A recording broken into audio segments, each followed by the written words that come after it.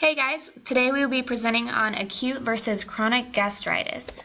So to begin, there are four layers in the stomach wall, as you can see on this diagram. Um, it contains the inner mucosa, submucosa, middle muscular layer, and the outer serous coat. And with acute gastritis, it is dealing with the inflammation of the inner mucosal lining. This is also known as erosive gastritis. So there are many things that causes acute gastritis, such as infections, allergies, acute stress, bile reflux, alcohol abuse, radiation, direct trauma, and medications. And all of these, um, what they all have in common is that they result in an inflammatory response. Now, inflammation is our body's way of fighting back against foreign bodies or irritants. However, this inflammation in the stomach causes pressure, which in um, return causes pain. So dealing specifically with medications or overuse or chronic use of these medications, um, for example, with aspirin that can cause gastrointestinal bleeding, corticosteroids decrease inflammation, and NSAIDs, which stands for non-steroidal anti-inflammatory drugs, these are things like ibuprofen. They act by blocking enzymes that produce prostaglandins and these are needed to produce pain in the inflammatory response and stimulate the production of gastric excretions. So by taking this, you have less pain, but you also have less gastric excretions, which means that your stomach lining is more exposed to the acidity of your stomach contents, which causes even more pain. So this is a picture of normal versus acute gastritis, and as you can see, um, the normal looks nice and healthy, and with gastritis, you have erosion going on and swelling, which is why you can see that would cause pain. All right, chronic gastritis is also called non-erosive gastritis, and it is most often associated with infections by Helicobacter pylori bacteria, which attacks the stomach's mucosal lining. When this is attacked, the chief and parietal cells that secrete hydrochloric acid, pepsin, and intrinsic factor, which are all needed for proper digestion and maintenance of the stomach's environment, um, are damaged. This causes a cycle of increased hydrochloric acid and gastrin release, and followed by a low release of both. When high hydrochloric with high hydrochloric acid, the mucosa is further eroded, making the environment for H. pylori growth even more ideal. Eventually, the parietal cells are totally destroyed, which leads to achlorhydria, a reduction of acid secretion, and finally gastric wall atrophy. Also, because the cells that secrete intrinsic factor are destroyed, the lack of intrinsic factor causes the stomach not to absorb B12, leading to pernicious anemia. Other conditions associated with chronic gastritis are lymphocytic and collagenous gastroenteropathies and chronic inflammatory conditions like Crohn's disease. During chronic gastritis, there is an infection of the gastric mucosa, attraction of neutrophils because of the infection, and release of oxyradicals from the neutrophils, which leads to further cell damage. There is also lymphocyte attraction, which can, on rare occasions, cause lymphoid follicles. All of these events precipitate the destruction of the stomach's mucosal lining and secretory cells, which lead to discomfort and other symptoms for the patient. All right, and some of the inflammatory markers or symptoms of gastritis is nausea or upset stomach, abdominal bloating, abdominal pain, vomiting, and vomiting can also include blood or coffee ground-like material, indigestion or burning of the stomach, hiccups, loss of appetite, or black tarry stools. And some of the causes of um, acute gastritis is nonsteroidal anti-inflammatory drugs, bacterial infections, or excessive alcohol consumption.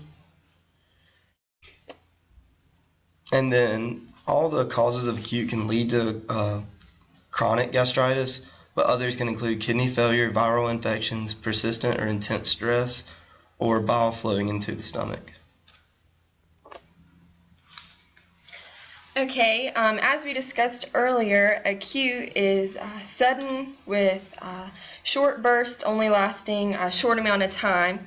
Uh, the physical assessment for acute um, could be bleeding from an erosion or ulcer, gastric outlet obstruction due to edema, limiting the adequate transfer of food from the stomach to the small intestines, dehydration from vomiting, renal insufficiency as a result of dehydration, bloody vomit that looks like used coffee grounds, or black stool. Whereas chronic gastritis um, is, of course, over a shorter period of time and it's a longer period of time, excuse me, and it's gradually and over time. Uh, the physical assessment for chronic would be a test for bacteria that causes stomach ulcers, a stool test to look for stomach bleeding, a blood count and anemia test, an endoscopy, which involves the use of a camera um, that attaches to a long tube that's inserted into your mouth, which goes down into your digestive tract, and a culture to check the presence of H. pylori bacteria, which causes stomach ulcers, and also a blood test to check for excessive alcohol consumption. All right, some nursing diagnoses for gastritis are nutrition less than body requirements related to inability to absorb nutrients, as evidenced by anorexia or weight loss, chronic pain related to infection, as evidenced by burning abdominal pain and atrophy of glandular stomach lining, risk for deficient fluid volume, as evidenced by hematemesis, and impaired tissue integrity related to depletion of gastric mucus, as evidenced by abdominal pain and nausea. These first three bullet points are more related to chronic gastritis, while the, la the last point can be indi indicate uh, both acute and chronic. Also, even though NSAIDs relieve inflammation experienced with gastritis, they actually deplete the gastric mucus, causing more irritation, thus causing impaired tissue integrity. Um, some things that you might want to teach a patient experiencing gastritis are avoiding or ceasing har harmful activities such as excessive alcohol consumption and smoking. Alcohol and smoking can cause gastritis by increasing um, the production of stomach acid. Antacids can be used to alleviate symptoms by decreasing or neutralizing excess stomach acid and reduce or avoid spicy or hot foods as well as lactose and gluten because irritating foods such as these may cause irritation. Now we're going to look at some medications that could be prescribed with a patient with gastritis. To begin with, we're going to look at chronic gastritis. A first medication that could be prescribed is an antibiotic, and an example of this is amoxicillin or Moxatag. Um, the therapeutic class is an anti-infective agent, an anti-ulcer agent, and then the chemical class is an aminopenicillins, which is an antibiotic. The action of this medication binds to the bacterial cell wall, causing cell death.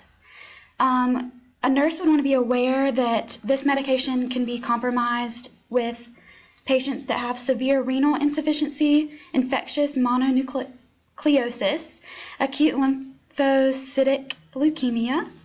An example of a dose that would be prescribed to this patient would be by mouth, and it's called a triple therapy which would be a thousand milligrams of amoxicillin two times daily with two other medications known as lansoprazole and clarithromycin.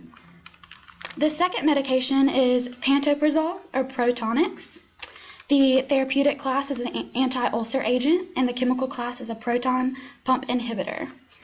This medication binds to an enzyme in the presence of an acidic gastric pH, preventing the final transport of hydrogen ions into the gastric lumen. A precaution with this medication is that it's contradicted in patients with hypersensitivity. An example of a dose would be by mouth 40 milligrams two times daily, and you would give up to 120 milligrams two times daily. The next medication, medication excuse me, is bismuth subsalicylate, and this is also known as Pepto-Bismol. The therapeutic class for this medication is antidiarrheals and anti-ulcer agents, and the chemical class is absorbents. The action of this medication promotes intestinal absorption of fluids and electrolytes, which decreases synthesis of intestinal prostaglandins. A precaution with this medication is that you want to use caution, used cautiously in patients undergoing, undergoing radiologic exams of the GI tract and patients that have diabetes and gout. The, um, this medication would be prescribed by mouth, um, and you would give 524 milligrams four times daily, and it could either be given as two tablets or a suspension of liquid. So moving on to acute gastritis medications, you have an antacid, which is called Rulox, which is also aluminum and magnesium hydroxide oral suspension. The therapeutic class of this medication is an anti-ulcer agent, and the chemical is an antacid. The action of this medication neutralizes gastric acid with healing of ulcers and decreases in associated pain. A precaution with this medication is that antacids containing milligrams in patients with any degree of renal insufficiency, decreased bowel motility, and dehydration, it would be compromised in those patients.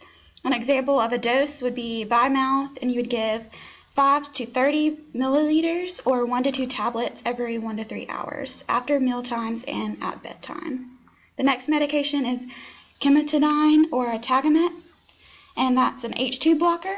Um, the therapeutic class is an anti-ulcer agent, and the chemical class is a histamine H2 antagonist.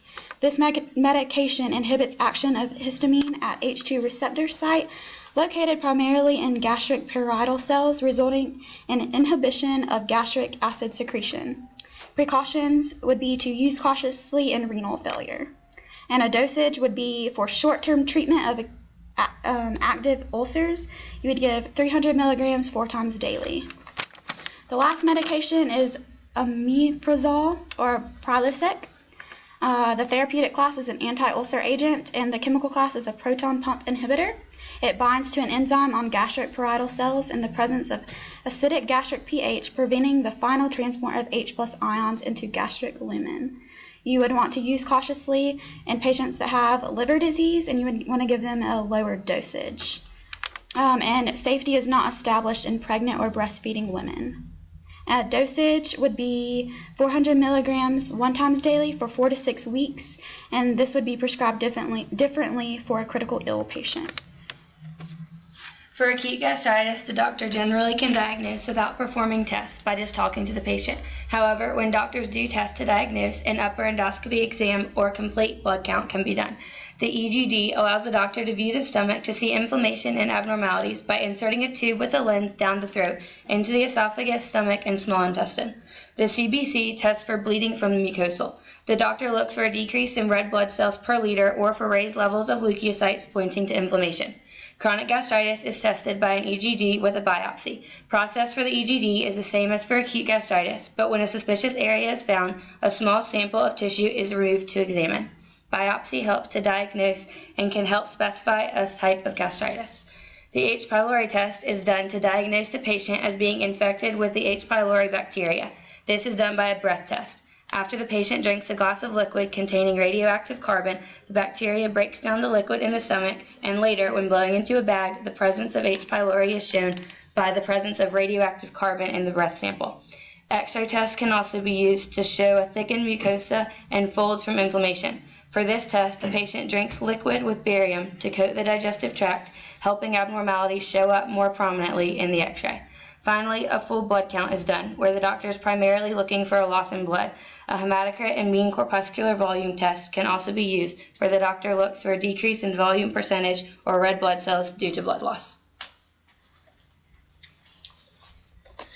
Okay, and for our case study, we did a 37 year old male presents to the emergency department with abdominal pain and vomiting. When asking what he has done to relieve pain, he reports that he has been continually taking ibuprofen every couple of hours and that he that has relieved the symptoms. He reports that the abdominal pain started three days ago and that he began vomiting this morning. While taking his health history, he reports drinking excessive amounts of alcohol every night. His mother has osteoporosis and his father has hypertension. He suffers from seasonal allergies and treats his symptoms with over the counter excedrins. All right, question number one. Which of the following does the patient have? Chronic gastritis, peptic ulcer disease, acute gastritis, or stomach cancer? And the answer is C, acute gastritis. Question number two. Which of the following symptoms are related to acute gastritis? Select all that apply. Abdominal pain, pain relief abuse, family history of osteoporosis, alcohol abuse, expectorant use for seasonal allergies, family history of hypertension, and vomiting. The answers are abdominal pain, pain relief abuse, alcohol abuse, and vomiting. And here are our sources.